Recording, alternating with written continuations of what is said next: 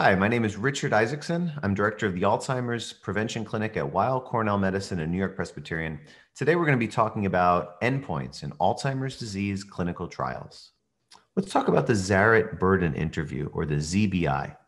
The ZBI tries to evaluate caregiver burden in patients with dementia.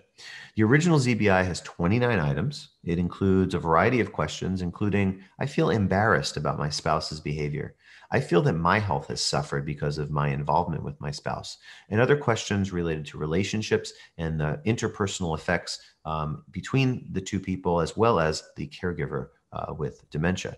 Uh, the advantage is that it can be used in some clinics as a helpful secondary outcome in, in clinical trials, but the limitations are that the uh, caregiver burden um, may not directly relate to the person's uh, to the person with dementia's actual clinical progression because of other uh, comorbidities or other factors, socioeconomic, psychiatric, or other, uh, that the caregiver themselves can be um, exhibiting. And so, thus, because the caregiver may be progressing at a different rate, it may not specifically correlate well to the patient's severity of disease or the patient themselves uh, trajectory.